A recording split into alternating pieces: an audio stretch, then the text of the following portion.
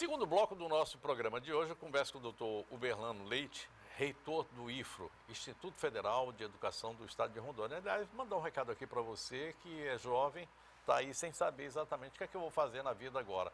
Não importa qual é a sua idade. Esse é o primeiro ponto. Não importa o que é que você está pensando em fazer na vida. Esse é o segundo ponto. Terceiro, não importa quais são suas dúvidas. O IFRO está lá para recebê-lo, para encaminhá-lo e fazer com que você não fique somente com aquelas dúvidas que você tinha naquela hora que entrou, mas que você adquira outros. As dúvidas é que empurram a gente para frente.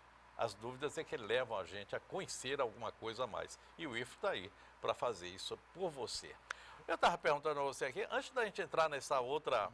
nesse outro caminho aqui que a gente anotou aqui para a conversa, o que, que levou o IFRO a esses dois pontos? Léo, o, o, Instituto Federal. Se você vou... me disser que isso é por causa da equipe, tá, não sei o que, eu digo, não, não tem alguma coisa a mais. É a questão, quando assumimos o Instituto em 2015, é, por coincidência, o nosso plano de desenvolvimento institucional, que é o nosso documento de referência, ele estava é, precisava ser atualizado. Com licença. E nós fizemos o, o nosso planejamento estratégico, Léo. É, quais são qual é a missão da instituição, quais são os objetivos para que foi criada e a partir daí a gente define o nosso planejamento e seguir é, é, o dia a dia. Então, há necessidade de você é, estabelecer parcerias. A instituição pública, o que a gente tem de, de superar, Léo, no, no Brasil, é o receio de trabalhar o público com o privado. Então, sem, claro, a agenda ela é mantida pelos dois, construída pelos dois. E, e, e, essas ações, e o também, eu posso tendo de falar, o corpo de servidores do Instituto Federal, os nossos alunos têm esse perfil é, voltado para é, o diálogo. Então, o diálogo não pode ser só interno, ele tem que ser externo. E no externo existe o público e o privado. Então, o Instituto Federal começou a colocar no seu dia, dia a dia essa pauta. Por isso que aí, até para colocar, o Futuros tem... O que é positivo do Futuros? É, ele se propõe a, a facilitar essa relação do, da instituição pública com a iniciativa privada, por meio, para a captação de recursos. É muito positivo. O nosso instituto, ele, ele já faz a lei, volto a falar, de o marco da inovação, que foi 2016, a lei 13243 de 2016, trouxe essa possibilidade, mas há algo ainda a ser feito, Léo. Nós temos alguns projetos que não conseguimos desenvolver porque não conseguimos receber o recurso.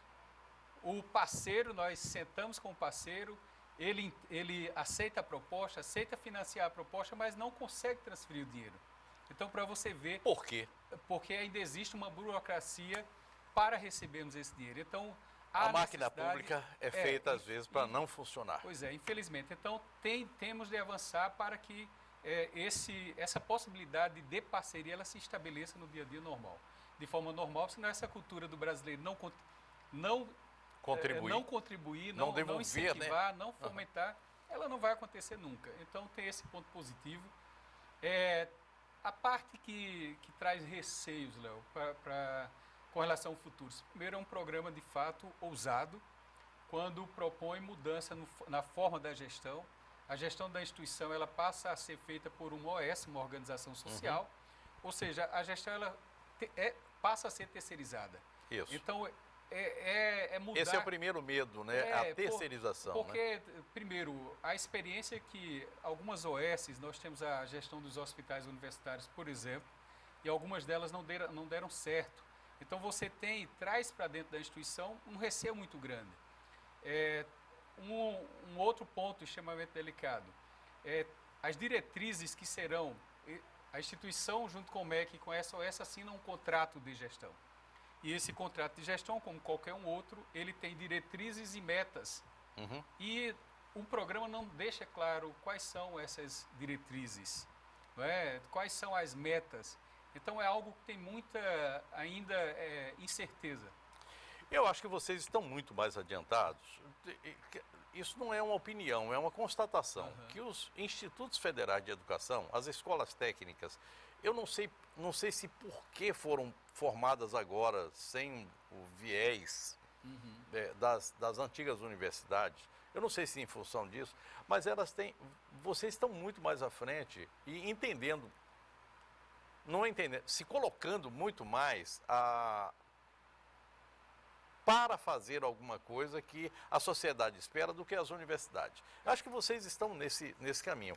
Mas, de qualquer forma, isso tudo, tanto lá para a universidade como para vocês, isso tem é, o lado pró e o lado contra. Uhum. Como é que anda esse negócio, nessa balança? Os freios e contrapesos, como é que andam nessa história? É, o, os institutos, eles de fato são diferentes de, da, das universidades, porque a gente trabalha desde a formação inicial e continuada, a formação de trabalhadores. É, no instituto poderemos ter é, pessoas como as senhoras lá do distrito de Cujubim, uhum. que participamos de um evento agora com a, com a Defensoria Pública até a pós-graduação. Então, esse, esse, esse público tão diverso, Léo, esse, essa diversidade também de ações, é, obriga a nossa instituição, e aí a nossa postura, é a ter essa, esse contato direto com a sociedade. Novamente, deixo claro, a sociedade ela é composta pelo público e pelo privado. Então, Perfeito. não tem como você discutir apenas com, com o setor público. Teremos de fomentar é, o desenvolvimento, dar um suporte para o desenvolvimento é, do, do país e esse desenvolvimento ele se dá também é, com a, a partir da discussão com o setor produtivo. É, o nosso instituto ele tem hoje, de fato, uma, uma relação muito próxima com o público e com o privado. Por exemplo, Léo, o IFRO está hoje, é, junto com a FUNASA, Fundação Nacional de Saúde, é, elaborando o Plano Municipal de Saneamento Básico de 19 municípios do nosso estado os municípios, para receberem recursos para investir em saneamento, eles têm de ter o plano municipal. Nós temos 19 municípios que nem o plano tem. Ou seja, a gente começa a entender por que, que tem essa situação uhum. é, de, de, praticamente inexistência de investimento em, em saneamento no, no, no, nosso estado. É, nós temos é parceria com empresas. Temos aqui no Porto Velho Calama, um, um, um grupo de pesquisa nosso, o professor Caio, ele ficou uma semana junto com a equipe do grupo de pesquisa, alunos e professores, é em uma fazenda, observando, discutindo quais são as demandas dessa fazenda, para trazer essas demandas para dentro da instituição, para a gente desenvolver pesquisas, produtos, tecno, tecnologias para atender a essa, essa demanda. É, isso, isso mostra o perfil da instituição. se a gente não fizer, Léo, se a gente não adotar essa postura de diálogo para conhecer demandas, trazer, desenvolver e levar, a gente começa a se isolar e acaba não dando essa resposta que a sociedade precisa. O país tem hoje mais de 12 milhões de, de desempregados e vagas ociosas. Então é, é, um contrassenso. Significa que a gente tem de formar pessoas, é, menos de 20% da nossa sociedade tem uma formação profissional, temos de avançar. O país, tecnologicamente falando, não tem competitividade. Eu estou indo para a Alemanha agora, final de semana, para conhecer é, experiências para trazer para dentro do Instituto Federal e também para os parceiros, naturalmente. Né?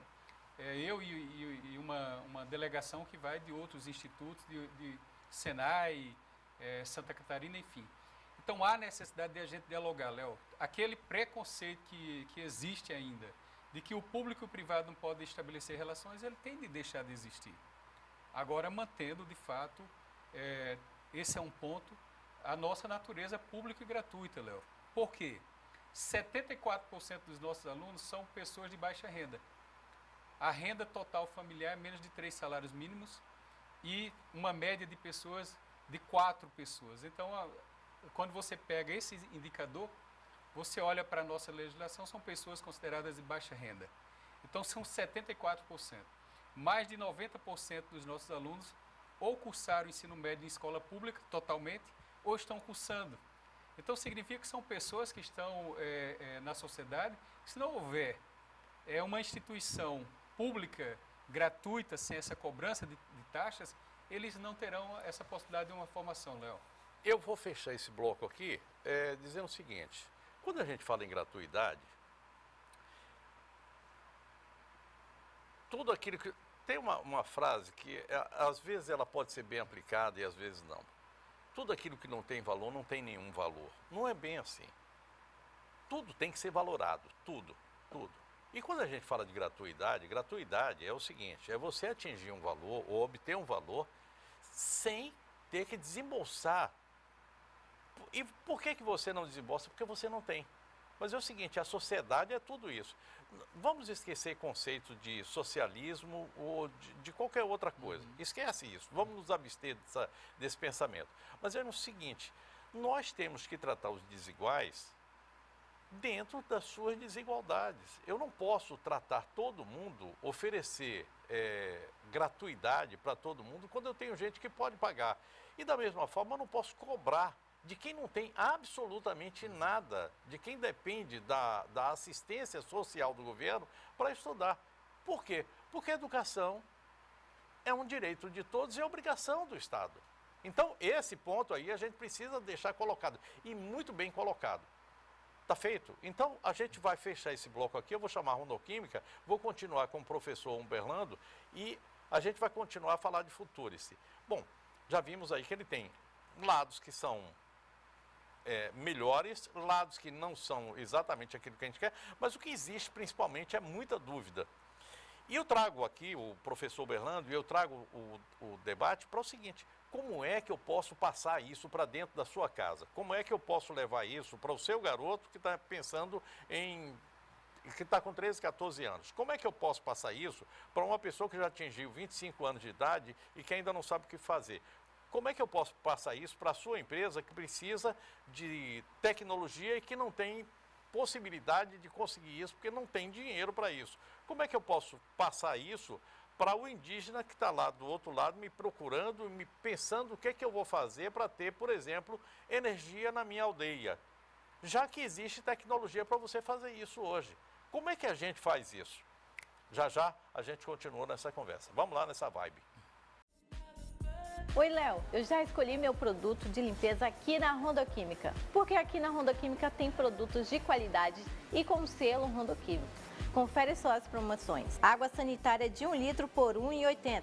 Água sanitária de 5 litros por R$ 6,80. Tem também um cabide mágico por R$ 34,95. Desinfetante Dália de 5 litros por R$ 6,30. Desinfetante de 2 litros por R$ 3,10. Detergente bem limpo 500 ml por 85 centavos. As promoções são válidas enquanto durar o estoque. Você pode também encontrar a linha ProfiClean de produtos especiais para frigoríficos, lavanderias e indústrias que atende o mercado de limpeza. A Rondoquímica fica localizada aqui na Avenida Amazonas, bairro Tiradentes, o seu supermercado da limpeza.